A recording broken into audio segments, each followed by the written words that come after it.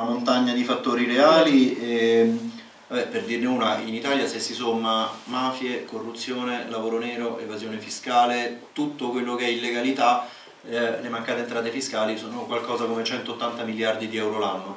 Quindi fate due conti, in 11 anni l'Italia non avrebbe più un debito pubblico, non eccessivo. Il sistema italiano invece di piccole e medie imprese, artigiani, di piccole aziende eccetera, funzionerebbe funzionerebbe benissimo. L'Italia è uno dei pochi paesi europei, a differenza della Germania, che ha un avanzo primario. L'Italia ancora nel 2011, in piena crisi, in piena recessione, ha chiuso l'avanzo primario, vuol dire al netto delle spese per il debito pubblico. Quanto entra e quanto esce dalle casse dello Stato? Più 16 miliardi. Con eh, gli interessi da pagare sul debito pubblico siamo andati a meno 60 perché c'erano 76 miliardi di interessi sul debito, ma l'Italia come paese, come sistema industriale produttivo di piccole e medie imprese eccetera, funzionare funzionerebbe benissimo. Il problema è che ci troviamo in mezzo a una gigantesca tempesta perfetta, sull'Alitalia sono assolutamente d'accordo, è anche peggio di così, non li hanno caricati sul debito pubblico. I creditori sono quattro anni che aspettano e non sanno che fine farà. Ci sono dei creditori dell'Alitalia che da prima che nascesse la Bad Company, perché alcuni debiti c'erano anche da prima, alcuni creditori dell'Alitalia che da quattro anni aspettano di sapere se avranno i loro soldi, in che forma li avranno, quando li avranno, per dirne una. Uh, sulla questione del Giappone, il Giappone ha un rapporto tra debito e PIL che è il 230%, più del doppio dell'Italia e su questo sono assolutamente d'accordo che una delle cose fondamentali è l'idea stessa di società di senso civico. Uh, in Giappone c'è il piccolo dettaglio, mi sembra il 96% del debito giapponese è detenuto dai giapponesi, con l'idea che siamo noi, noi giapponesi siamo lo Stato, noi dobbiamo dei soldi a noi, lo Stato dà dei servizi a noi, noi paghiamo il debito e se il governo del Giappone emette dei titoli allo 0,1 sputo per nulla per cento, i giapponesi punk, e se li comprano perché sono soldi nostri e lo Stato nostro.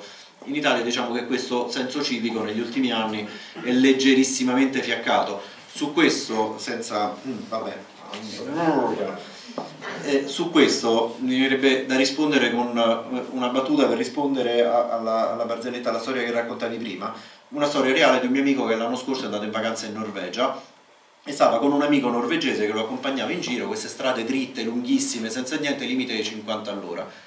Questo qui italiano, girato verso l'amico, ha detto non c'è un poliziotto neanche a pagarlo, acceleriamo un po', andiamo un po' più veloce. Questo si è girato e ha detto scusami un attimo, fammi capire il ragionamento. Allora, noi ci siamo dati tutti insieme come regola, decidendola noi, di andare a 50 all'ora io con i soldi delle mie tasse devo pagare un poliziotto che mi fa la multa perché io stesso non rispetto una regola che mi sono dato.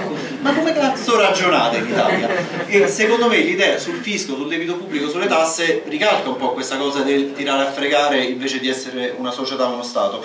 Su altre cose assolutamente d'accordo, per esempio hai accennato appena sulla Germania il modello energetico, noi abbiamo inseguito un modello energetico in qualche modo è quello francese, grandi centrali nucleari e pum, dall'alto verso il basso ai cittadini. La Germania ha un modello energetico a rete, in cui per quanto fa freddo e non hanno pannelli e non hanno il sole, tutti hanno pannelli solari o dal compost o la pala eolica o, e tutti sono produttori e consumatori insieme, quindi un modello orizzontale di produzione e distribuzione di energia che in questo momento è il modello verso cui andare. Noi abbiamo inseguito il modello francese, se non ci fosse stato il referendum, oggi staremmo con le centrali nucleari. Quindi c'è un po' un misto di tutto, ma non direi che cioè, l'Italia non sarebbe messa così male. Ti do un ultimo dato che credo abbastanza rivelatore.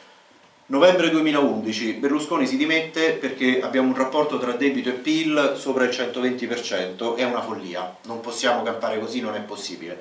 Berlusconi arriva al governo, il primo governo Berlusconi nel 1994 e la parola d'ordine era il nuovo miracolo italiano. Abbiamo soldi da tutte le parti, stavamo una meraviglia nel 94, meno tasse per tutti. Sono talmente tanti soldi che possiamo tagliare le tasse a tutti. Grandi investimenti, grandi opere, il ponte sullo stretto, faccio, eh, ci sono soldi dappertutto, lo Stato sta una meraviglia nel 94. Quant'era il rapporto tra debito e PIL? Che stavamo così bene, nuovo miracolo italiano e tagliamo le tasse a tutti.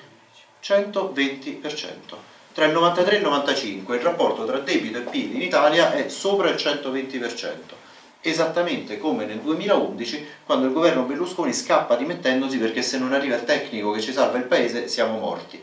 Cosa è cambiato in questi 17 anni? È cambiato che sopra la testa abbiamo una finanza che è 100 volte l'economia reale, che abbiamo una gigantesca montagna di debiti sopra la testa, che abbiamo tramite CDS puoi scommettere sulla finanza, che qualunque intervento nell'economia reale è assolutamente marginale rispetto allo strapotere dei mercati finanziari. Dal mio punto di vista invece dico,